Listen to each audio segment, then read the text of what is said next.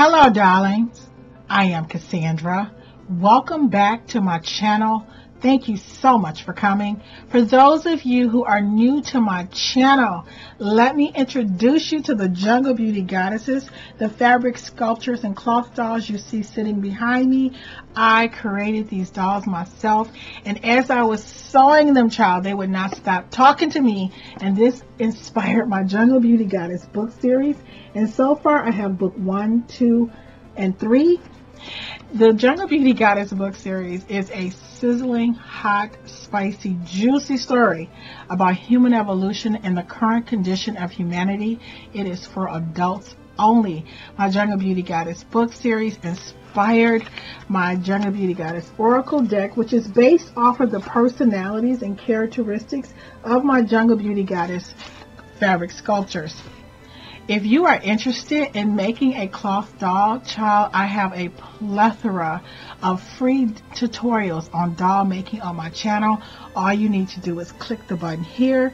If you enjoy information about chakras, gemstones, oils, um, metaphysical knowledge, ancient wisdom, magic, welcome home, darling.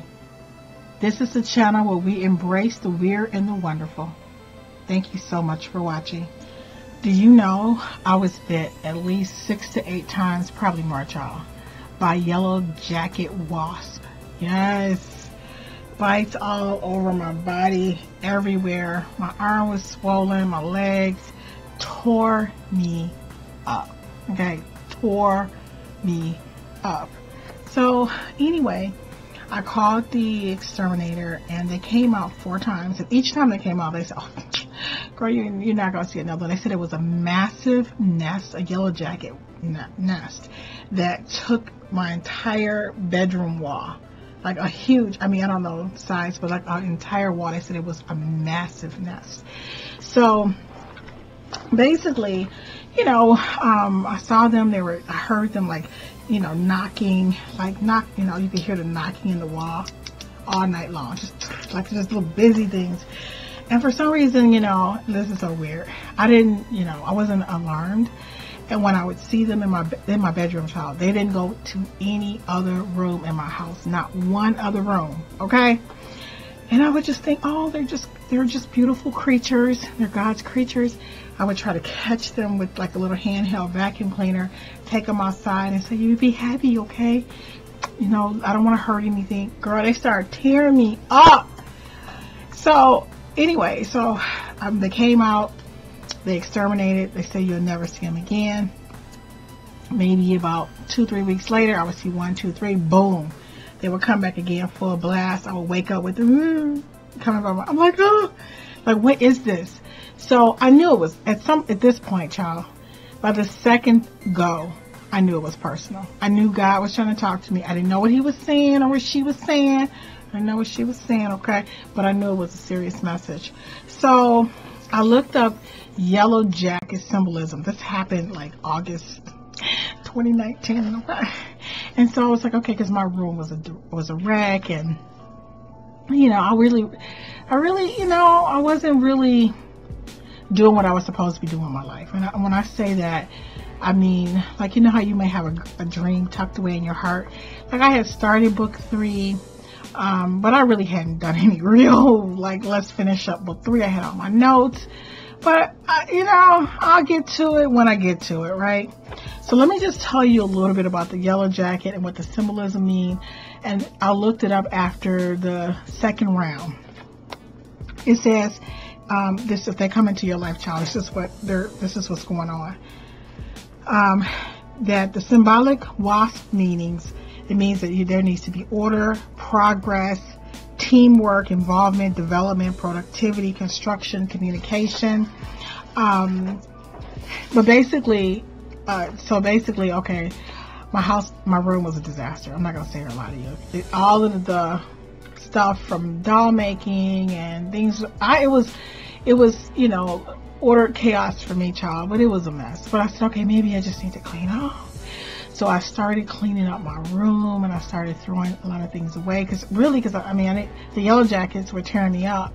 So even after the second time and they came out and, they, and we're talking Terminix, y'all, they were like, this is it. I promise you. Boom. They came back again. It took four times for them to actually, I don't even know. I'm looking forward to the summer to see if they're coming back. Oh, oh not. But anyway, they said if yellow jackets come into your life, here are some of the questions you need to start asking yourself. And this is from, let me see her website. I find her stuff to be really good. I'm going to leave it, the whole article in the description box below. But here are some of the questions you should ask yourself. Are all my affairs in order? Am I aligning myself with my goals? Uh, psh, guy, hello. Why are you getting personal? Why are you stinging me up? Uh, am I procrastinating about something? Uh, whoa, procrastinating about something? Yeah, all right. Am I keeping myself from reaching my highest potential? Wait, wait, guys, do you hear me? These, these are the questions that the universe is asking you if yellow jacket wasps are invading your life. Are you, are you listening? Am I keeping myself from reaching my, reaching my highest potential? Am I following, wait, am I allowing my progress to be held back by others?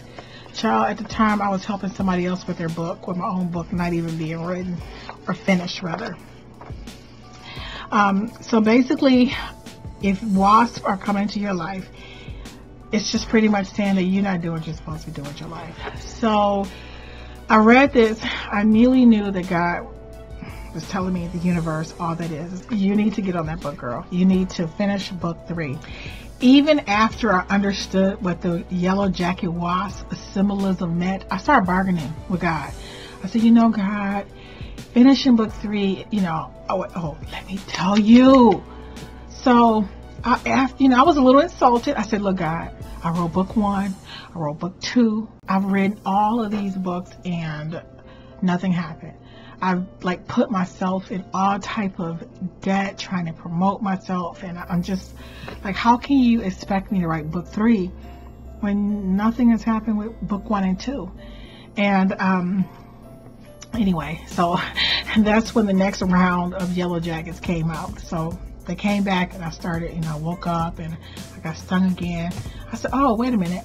I'm not in a position to negotiate when my son was growing up, there were times he would ask me for things like, you know, about his about school that I totally disagree with, and I used to tell my son, sometimes you need to understand when you have a Boeing arrow, arrow, and somebody else have a gun, you can't negotiate with me. There is no negotiation. No, you're going to school. This is how it's going to be. So when I was talking to God about the yellow jacket wasp stinging me up every morning, every night, you know, come on my ear, um, I, I realized that I had a bowing arrow and that the universe had the gun, child, and there was nothing I could, there was no negotiation. So there was a complete breakdown. Like, I don't really feel like anybody cares. And finally, you know, God kept saying to me, you, you have to trust me. So actually, I ended up cleaning up my room, throwing away a lot of things, and I disciplined myself to sit down and actually finish writing writing book three and it's really because of the yellow jackets. I'm, not gonna sit here and lie. It wasn't because I was just so I had kind of like given up on myself. I had given up on my dream of dreams. I kind of felt that nobody cared. And um, you know I really I thank God for the yellow jackets stinging me up because you know I've already started to write book four and I kind of not kind of. I'm not gonna let that happen again, child. It was not fun at all. Another thing that was really interesting about the about the yellow jacket wasp in, infestation, you know, attack, is that it actually changed the ending of book three. The ending that I had originally written for the book, it didn't fit anymore. It was like I'm not gonna say what it's about, but I'm just saying that it made me feel like, no, child, you need to, no, what is this? What, what is this? So it just made me understand that you have to be tough in life. And when something, when obstacles come in your path, you know, you have to you have to, you know, you have to go through those obstacles. You don't get to, oh, I'm just, it's going to be great. I'm just going to pray it away, child, and it's going to work out. And another thing that God told me that I thought was so profound, and I, He said, money doesn't mean that a person is great, and um, like how much money a person has does not equate to their to their greatness or their contribution to society. Um, there are many people who have millions and billions of dollars who take from the world as opposed to give to the world. And greatness has nothing to do, and a person can be great and not have any money.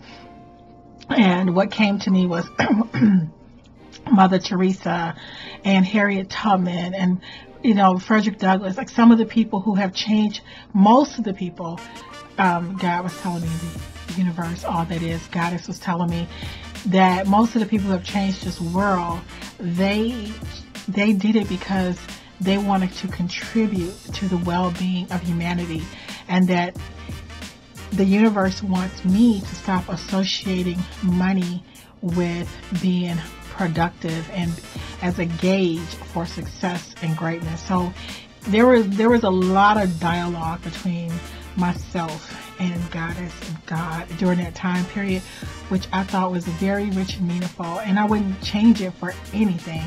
So basically, if you see something in your life and it's just coming, and you wonder like, why is it here? Always look up the symbolism because I promise you, the universe is always going to talk to you in a way that you understand. And it's usually for your highest good.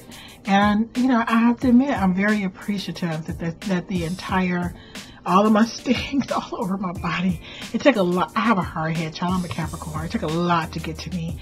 Especially, I was doing other things. I was like, no, I'm going to help somebody else write their book. You know, that I'm still writing. You know what I'm saying? And God was like, no, I'm not having it. So, Anyway, if you have something that's chasing you in your dreams or in real life, child, look it up, see what it means, and take heed. I really hope this video helps someone. Thank you so much for watching.